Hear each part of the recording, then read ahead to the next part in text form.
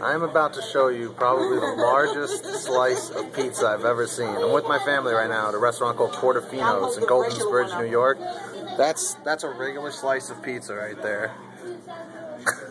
that's a chicken slice. You're good. You're good. You're good.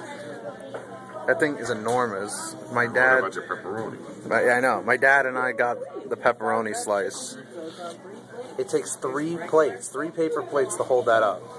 What do you think of that? In the comment section, let me know. Have you ever had a slice of pizza this large in your life? And let's see if we can get this video 100 thumbs up. Make sure you do that. Come like a regular. Awesome. All right, I'm out of here. guess you can Later.